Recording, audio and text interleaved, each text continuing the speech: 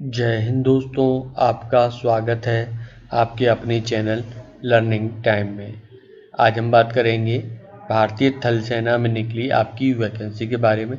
इसके लिए आप किस तरीके से आवेदन कर सकते हैं? क्या आपका लिजिटी क्राइटेरिया रहेगा? और आपकी जो कौन सी वैकेंसी जिसके लिए आप आवेदन कर सकते हैं, सारी जो महत्वपूर्ण जानकारियाँ हैं, आपको इस वीडियो में कंप्लीट रूप से देखने को मिलेगी।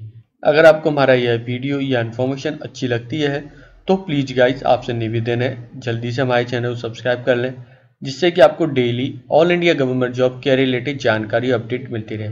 आप लोगों को हमारा यह वीडियो इन्फॉर्मेशन फेसबुक पर भी मिल जाएगी। अगर आप चाहें तो हमारे फेसबुक पेज को भी लाइक और सब और कर सकते हैं, ठीक है? तो बात करते हैं जो हमारी वैकेंसी है, भारतीय थल सेना की, उसके बारे में बात करते हैं। तो फ्रेंड यहाँ पे आपको देखते हैं recruitment for defence civilian H Q twenty two movement control group यहाँ पे आपको देखने मिलेगा। Last date of receipt application twenty day from publish आपका एडवर्टाइजमेंट एम्प्लॉयमेंट न्यूज़ है। ठीक है तो यहाँ पे आपकी जो वैकेंसी है, उसके बारे में बात करते हैं। मसालची न्यू मसालची वन पोस्ट है अनरिजर्व कैटेगरी के लिए। पे लेवल वन अठारह हज़ार से छप्पन हज़ार, अठारह से पच्चीस आयु दे रखी है। यहाँ पे हाई स्कूल पास होना चाहिए, या आपका इक्वलेंट होना चाहिए, आपका रिकोगनाइज बोर्ड से। ठीक है, यहाँ पे दूसरी वैकेंसी है, बारवर की।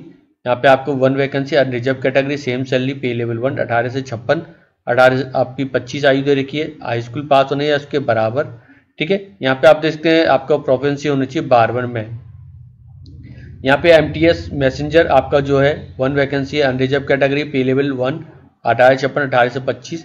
हाई स्कूल पास आपका, आपकी जो यहाँ पे देख सकते हैं रिकॉग्नाइज बोर्ड से ड्यूटी आपकी मैसेंजर की होनी चाहिए, आपका कन्वर्जेशन आपका बारवर की यहाँ पे दे सकते हैं वन वैकेंसी है सेम आपका रहेगा। यहाँ पे हाई स्कूल पास यहाँ पे आपका जो है मैथ्स वेटर की वन वैकेंसी है pay level one unreserved category same आपकी क्राइटेरिया दे रखा है।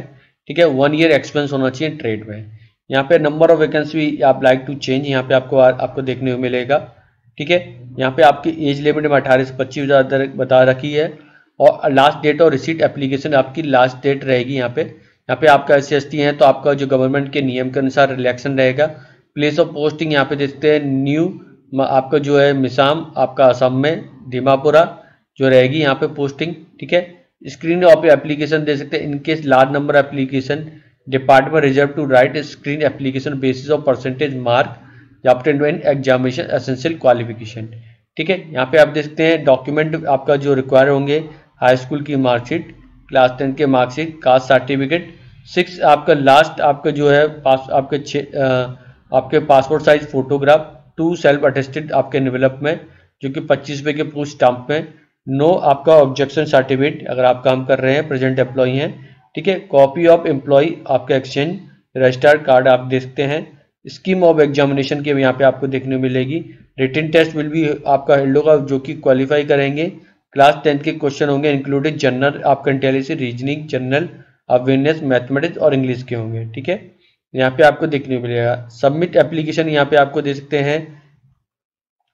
तो यहाँ पे आपको देखिए, आपको जो दिए गए एड्रेस पे यहाँ पे आपको सेंड करना है, ठीक है? एप्लीकेशन फॉर द पोस्ट यहाँ पे आपको बताना है जिस पोस्ट और कैटेगरी ठीक है? लास्ट डेट आपकी जो रहेगी, आपकी इक्कीस डे रहेगी पब्लिक आपका जो है न्यूज़पेपर होगा, उससे तो फ्रेंड ये आपका जो न्यूज़ है, आपके छः से बारह न्यूज़ आपके जो है वीकली न्यू एम्प्लॉयमेंट न्यूज़पेपर में आ चुका होगा, ठीक है? तो उसे आप जाके वहाँ पे दे सकते हैं। कॉल लेटर फॉर एग्जामिनेशन यहाँ पे आपको दे रखा है, ठीक है? बाकी आपके अन्य डिटेल यहाँ पे देखने को मिल जाएगी।